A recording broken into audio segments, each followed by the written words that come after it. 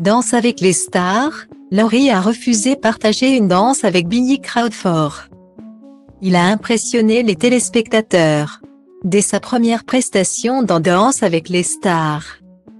Billy Crawford, en duo avec Fovoto, a fait sensation. Et, après plusieurs semaines de concours, le chanteur a remporté, haut la main, la douzième saison du concours de danse. Saison que Laurie, qui avait terminé quatrième de Dals en 2012, n'a pas suivi.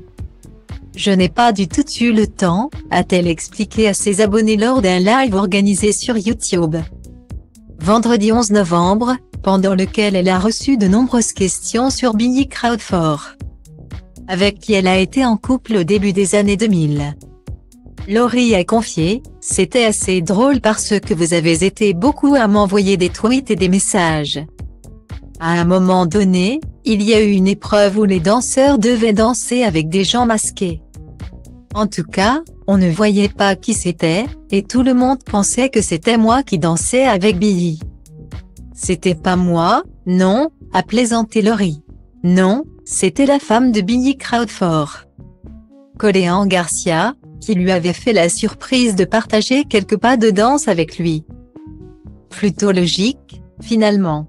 Cependant, Laurie a révélé qu'elle avait été contactée par la production de Danse avec les stars pour partager une danse avec Billy Crawford.